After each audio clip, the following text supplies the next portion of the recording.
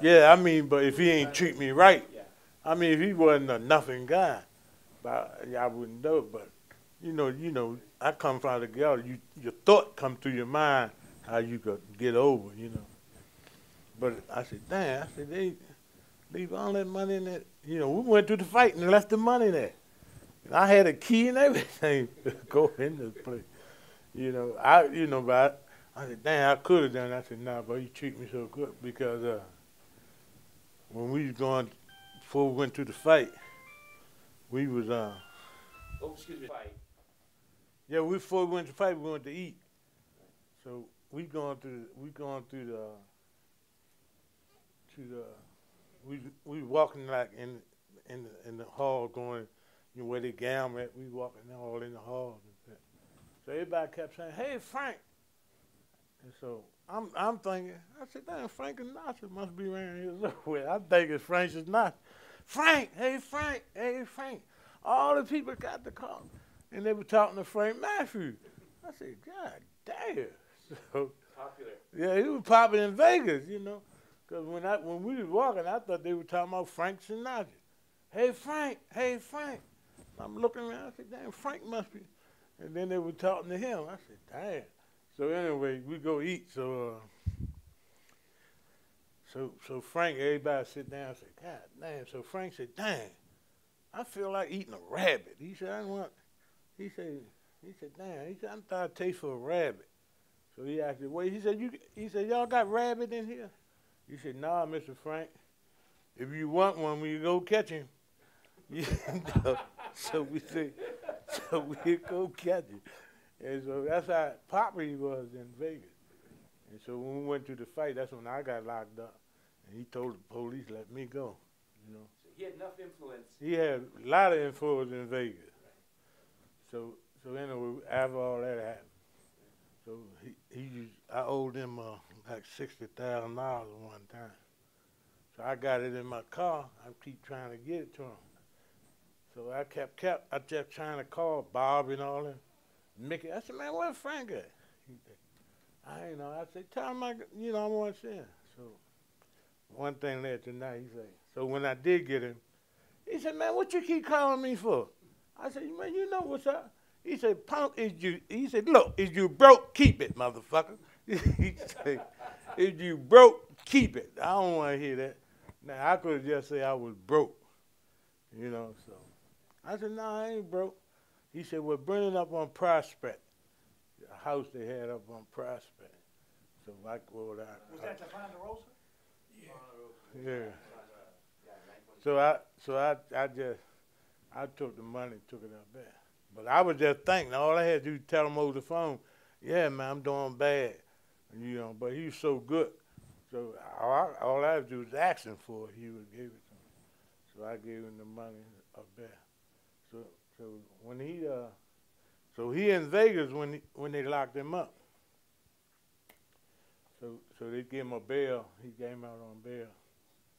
And so a lawyer, so uh, he going get ready to go to arraignment one day. So a lawyer told him, said, look, come here. He pulled Frank up. He said, look, let me tell you something. He said, I don't supposed to tell you this, but they indict you in Florida. He said, you going to court. You ain't getting out. They got 848 on you. So Frank said, yeah. He said, yeah, don't go to arraignment. If you go, they're to lock you up. A lawyer told him this. So that's why he that's why he he went. He didn't go 'cause that's what happened. He knew he had not indictment from Florida. So the lawyer, so he, so he get his money together. He called the bail bond. He said, "Come here." And so the bail bond said, well, "He said, look here, boom." He gave the bail bond his money. He said, "I'm gone. I don't want to stick you with the bail."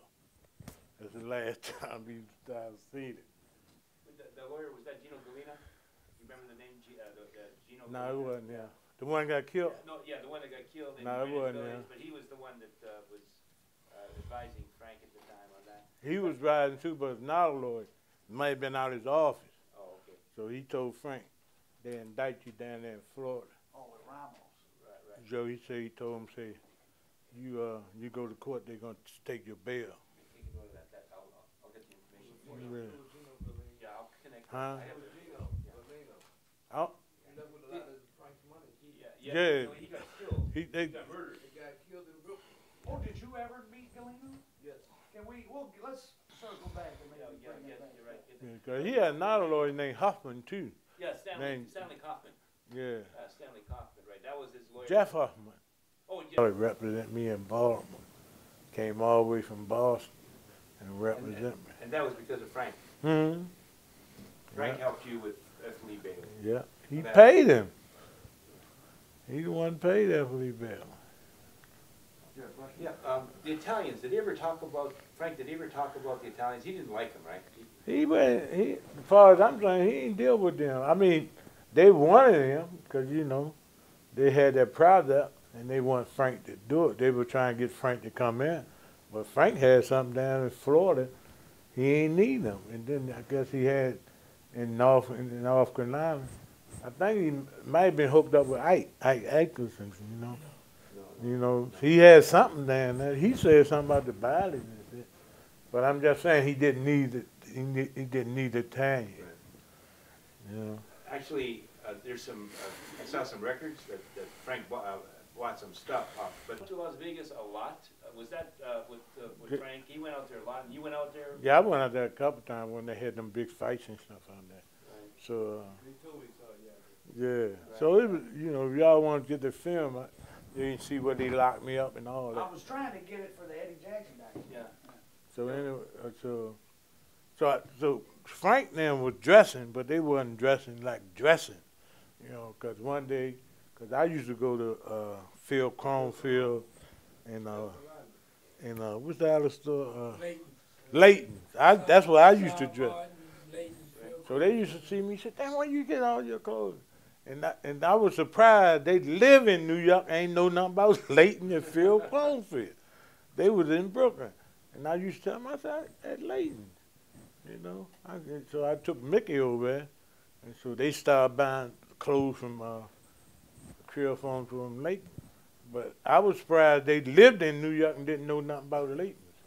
And that's when they started buying their clothes and stuff. Cause that's where I used to buy all my clothes at levels and all them shoes, alligators. Did, did, did you ever see the, the Ponderosa? Did you ever go in there? And yeah, I left money in there. And everything.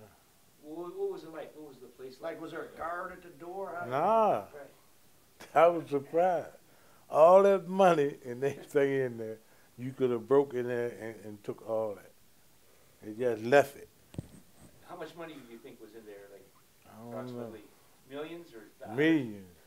You was Now, now. Frank was selling weight, but didn't he also have, he had spots in Brooklyn that were selling bags too, right? We had boy Leon in Brooklyn. Leon was in Brooklyn. Then that dude named Charles, he was in Boston. And they were selling packs. They were selling keys. They weren't selling no pack. You know, they might have somebody. Some Uh, people over there selling packs. they, you know, they might have somebody, but they were selling kilos. You know, Did but you- that boy Charles, I think he's still living. Charles, out of Brooklyn. I mean, out of Boston. He used to he used to get him money for Boston. Did, did you did you uh, ever see Barbara Hinton? Or, or- Yeah. What was she like? She was nice, nice, you know, quiet, mind her business, you know, with Frank. And Frank was living next door to uh, Carlos Gambino, wasn't uh, wasn't Paul. And he said Carlos, man, you know, put the police on it. That was Frank told me. He said, wait, say that again? Button, Buttonwood Road. Yeah, Buttonwood. Yeah. It wasn't it wasn't Paul. Paul wasn't in the He lived- bar. Yeah, he lived with Paul Castellano. He lived there, but you're saying that he told you that Carlo Gambino. Kind of Carlos Bandimo, he was living next door to him, and he put the and Frank said he put the police on him, the boss of bosses. That's what Frank said. And why was that? He talking about he gonna put the dope where back where it supposed be or some old shit. they He's saying. saying that's what the mob told him. That's what uh, Frank said. The police and them was telling me. Did, did you ever go out to Todt Hill? He said he'll Did he? hang, he said he'll hang, those, uh, he hang each one of them on a lamp pole. Yeah. On, on, uh, Mulberry Street? In Mulberry. We gotta get that. No, he, he said, he, uh, So that's what I'm saying. Italians were jealous. They were jealous of him, cause uh, Frank was making, you know, like the mob. You just say, just picture the mob.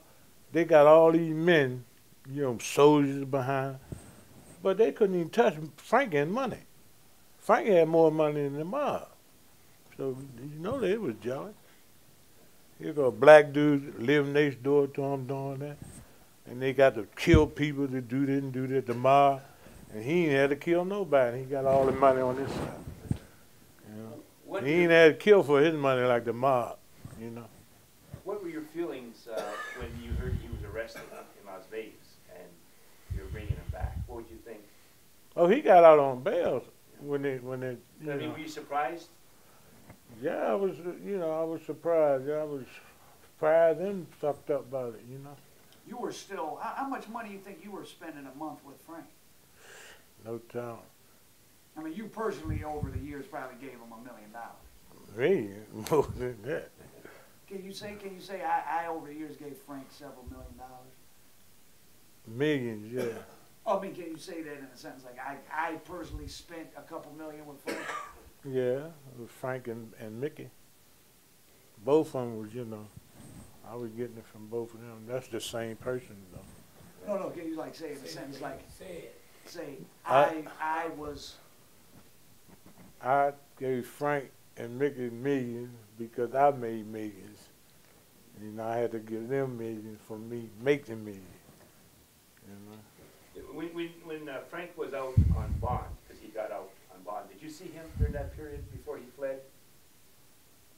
Yeah, he was still he still was mingling with people and shit, and they know he had a case. But about a month later, that's when the other case came out of Florida, and and you know, and he was going back and forth to court, and that's when the he get ready to go to court that week, and that's when the lawyer hipped him, say, you ain't coming back out if you go to that court. And he said, why? He said, they, said they indict you they got a seal indictment on you in Florida, and that's eight forty-eight. And he was telling, he said, well, I'm just telling you, you go to court, and you ain't getting out on bail. So that's when he got the, got all his shit together and shit. Called the bail bond, paid him, you know, gave people money who he want. He said, I'm gone. Ain't nobody saying. Do you think he had a plan, like Shorty was talking about, uh, that he had a plan to escape? Not, a- not, no, he had no plan. Not until the lawyer told it. He was going to court for Well, that he was going case. to court. He actually said he was going to court. He was going to court on the case with with Big Head and them. the New York case. Yeah, he was he was going to court So on he had that. no intention of. I went to court for four months. He wasn't he wasn't talking about no escape. He's his plot came in when the lawyer told him you're not getting out on bail. They're gonna keep you. You gonna face a life sentence, a eight forty eight. That's when he plotted and ain't go to court. The marshals and them they know that he ain't know about that indictment. They were gonna surprise him when he go to court, but the lawyer beat him to it, and, that's when that's when the plot came. Then he left. You know, then then uh, Pop Darby and all them. They say he's still alive himself. Pop Darby and all them told. him. You know, so Oh, Pop Darby told you? yeah, so he alive. When was this? We was in Lewisburg together. Me, Pop. How many years ago was that? What year was that bitch out in Lewisburg? Uh, 73, 74. The second time you was in? Nah, when when see he was they had he was a co-conspirator on my case. I got a trial in Baltimore, and Frank was a co. They tried to make him a co-conspirator with me, but they they ain't have enough evidence. They brought his name up in my case. I got thirty years on that case. That was in 73. Oh, you Yeah, got thirty years? How much time did you do? What? about seventeen. Did 19. Yeah, Well, well, why, why does, uh, why did John Darby say that Frank was alive? Because he 'Cause he- actually, but he had talked with him, or? he he had he had he had talked with him, and while I was doing my case, I, they pulled me. New York, the New York DA pulled me to to New York in '78. They they pulled me. They came and got me. I was I was in uh, Oxford, and so they come and got me, and I went to New York. So I I ain't know what I was. I said, "What they sent me to New York for?" So I goes in. Uh, what's that jail there up there? West Street. No, I wasn't West Street. It was Tomb. Right? not the tune. MCC? Yeah, Yeah, yeah, the Metropolitan Correctional yeah. Center. That that yeah. Tune, yeah. Yeah. So I wasn't there, so, so they they they take me downtown and ask me, do I think where Frank at? You know? So And this is five years after Frank's been gone. yeah, this is this is seventy eight. So they they questioned me and all that. So I kept that. Matter of fact, they kept me up there about four months. But the place was so good, I ain't mind staying there. You know, they had women there, and it was it was nice, you know. But then they, then you know after they finished questioning they let me out. But Pop Darby say Frank is alive. I said I said what made you think? He said look, Frank is in Africa. I said I said what? He said yeah. And then he said uh, you won't know him. I said what do you mean I, I won't know him? He done like that. I said, what? I said, like that? He said, yeah. Said he got a whole new face. And Pop Darby, he told me that. Wow. When, when did he say, tell you that? You remember? We was in jail. He got 15 years. He was on it. Okay. So, so soon He was on case with, when Pop on case with you? He was on case with them. Come forward, This what I'm saying. told us this, no one's ever come forward and said, I wanna make a deal with you, I know where Frank is. How do you explain that? Now, this is what I think. They got rumor out that the Guineas hit Frank. You understand? There's a So- rumor, there's a rumor that. It's a, it's a rumor out that, that the Guineas hit Frank. So I'm saying this, if the Guineas hit Frank, they would have knew about it, cause they snitched so much, them Guineas told on John Gotti, and they, that would have came out. And Frank wasn't even dealing with the fucking Guineas. So, you know, I don't even know how they involved, you know, all that matters, somebody say, oh yeah, he got a Guinea connection, but Frank wasn't dealing with them. So that's a, I, far as I know, that's a bad bone, you know. So all I'm, I'm thinking, he is he alive. John Darby told me, "Choom, he got a plastic surgery. Boom, he doing good. He over in Africa somewhere. So, so, so Liddy, what's your theory? I'm, That's- that's, that's my it. Oh, that's theory. it. So you're, you're I going, believe going John Darby, You're yeah. John Darby. Cause that's my man. That's my man. John Darby, my man. And you know, me and him was doing time together. But I mean, he ain't broadcasted like that. We he went and got. He said, "Look, Frank is on." I said, "Oh yeah," and he said, "Yeah." I said, "How do you know?" He said, "I'm telling you, yeah, all right." So I said, "Why do you think?" He said, "I said, what do you?" He said, "He got a whole new face. He grew, boom, he over there." What about the girl? I mean, did, did John Darby tell you about? Oh, no, he ain't say nothing about her. He, was- you know, he know I wasn't worried about. I'm interested in Frank, not the girl. What do you care? You know, so we did you hear anything over the years, like what had happened to her, or is there any theories? about her. Yeah, about her. No, I, you know. Did you ever meet her? Yeah, I've seen her. But Cheryl Brown, what does she look like? she nice looking, you know. He always had a nice looking girl. You know, he was a nice looking guy too. He wasn't Yeah. bad looking. The girls liked him. A lot. With that money, he know that. I, I think there was five Frank Matthews. I've heard so many stories about him. I mean, Atlanta, yeah. Atlanta, Baltimore, Back in- Philadelphia. That's why he had, he had people all in them states. Yeah, but he had so I many was girls. But uh, So you think Frank Matthews is alive and well? yeah, definitely. Do you miss him? Do I? Yeah. Sure, I'd be a billionaire if he was still out.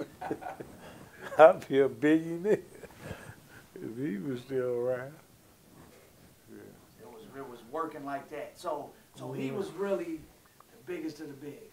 Yeah, Nicky Bond, all them, Frank Lucas, they couldn't touch him. You know. Like I say, they had one state, New York. He has 25 states. So, you know, they do count the math. You know. Nicky Barnes was big in New York. You two guys were the biggest in Baltimore? Yeah. Can you say we were the biggest in Baltimore? We was the biggest at the time, yeah. Oh, no, I mean, can you say like a complete sentence, like we, me and, Me and Big Head was the biggest. We had that town locked down. Me and and Big you Head. were getting it from Frank? And Big Head. Oh, okay. No, he was doing his thing. yeah, he wasn't giving me enough. And He was you had a lot- holding back on. But then you had a lot of fun with, uh, that, you know, Frank in those days. Do you, uh, what's your feeling when you look back at, at those days? Do you, if there's any, uh, nostalgia, or do you feel regret? How do you feel? Nah, I feel I feel good that I met a man like that. You, just you know, back in the day, in the day, you ain't gonna find nobody like that. And One of a good kind. Frank Razor was one of a kind. Yeah, you ain't, you know, like today, you ain't gonna find nobody like Frank. You know, He was one of a kind, would you say? yeah, one of a kind. You ain't gonna find nobody like him no more. Not not where they got the system now. They ain't gonna let nobody get like that no more. In terms of being a kingpin. Yeah. Yeah, they ain't gonna, they got too many snitches and too many conniving, jealous. They got it set up that you ain't gonna get like that no more.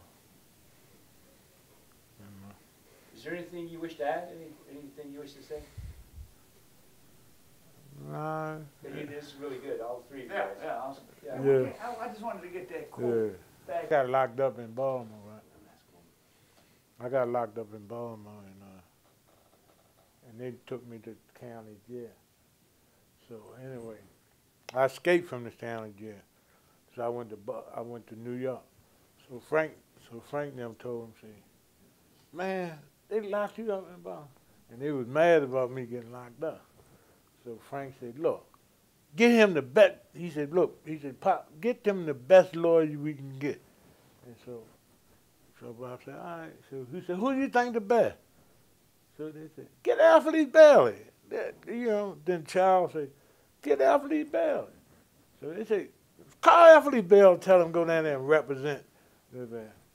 And sure enough, he came down there and represented Anthony Bailey. Did that help you? We beat the case. I beat that Oh, yeah, he was, he was good. Yeah. Anthony Bailey, yeah, Anthony Bailey, wow. Well, he was partners with H. Ross Black, Yeah. and that's who did Courtney Yeah, and Eddie that's right. Jackson's case. Well, Frank, Frank them hired him to get to me. That's, that's, wow. Well, uh, But